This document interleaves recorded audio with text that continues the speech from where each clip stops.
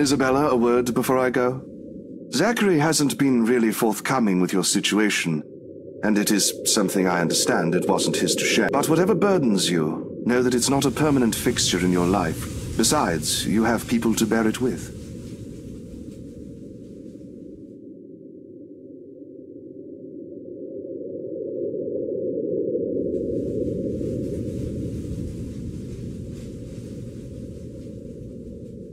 Say, do you want to go somewhere? Right now? Anywhere in the city. I'll leave it up to you. It wouldn't hurt. I've got some stuff I need to buy. Groceries. And there's a shop I want to check. Is it real food this time? Let me guess. Rebecca? She's just worried about you. Even I can't eat that much instant noodles. Think of it as a talent. Let's just go, Zach.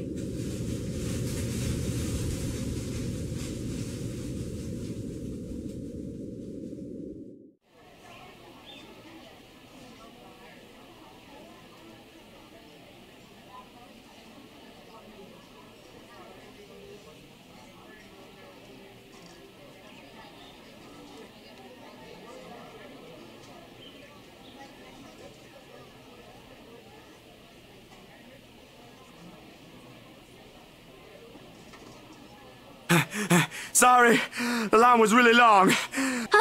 You didn't have to run. Sit down first. Nah, I- I'm, I'm good.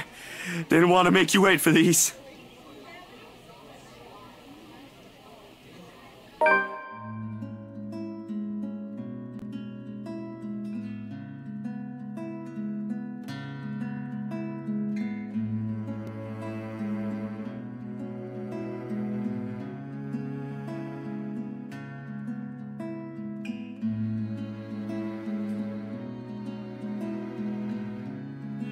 What for? An apology. And as thanks for yesterday and the other day. You don't have to buy me anything, Zach. You were upset. You haven't been yourself recently, and people kind of miss that, you know? Are you just saying that? Or. No, really. Rebecca told me. You know how she is. Ashton, too. Ashton was an ass. He should have been named Ashhole instead. He went a little overboard, yeah. I can talk to him if you want. He'll still tease me about it, even if it's Rebecca telling him to stop. Besides, I can handle him. You always do. And yesterday, when you talked me through my little slump, I thought, hey, I want our old Isabella back. Are you. Are you still upset?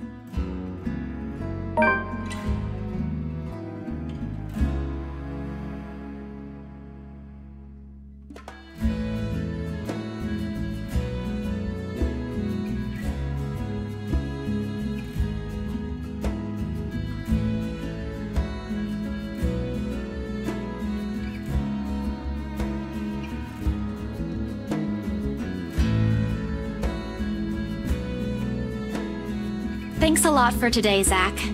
You didn't have to, but you did. I can always count on you. Just me? No Ashton or Rebecca? Oh boy, they won't be happy to hear that. I don't mind being the favorite, though. Nope, no favorites. But you cook better than both of them, so that's a plus. It's always been food with you, ain't it? Don't put it like that! You're making me sound like a glutton. I'm not saying you are, but it does feel good to know there's someone I can invite for food to be able to eat all of it. Only that? I thought we were also art buddies. Oh, that too. Uh, but the food thing really stands out when you think about it. You do eat a lot for someone your, uh, size. Low blow! I take pride in my height. So, uh, is it okay now? Do you feel better? Does, does it still scare you? A little. I'll be okay. I'll. I'll figure it out, somehow.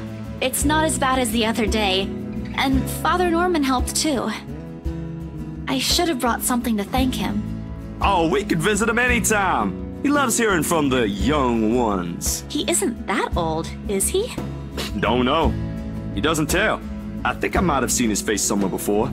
I just couldn't recall when or where. Ash says he looks like his boss, so the bartender at the local pub if he squints. Don't take his word for it, of course. He might have accidentally inhaled something from the forensic lab again when he said that.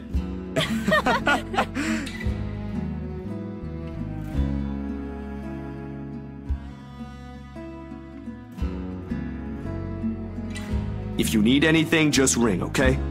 Like when Ash annoys you too much. I'll help you with him, best friend or not. No way.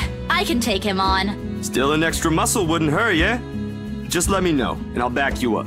My sister knows this one thing to shut him up when he's being his usual self. Ask me what it is whenever you want, and I'll spill it. I don't think that's necessary, but thanks. I'll keep that in mind.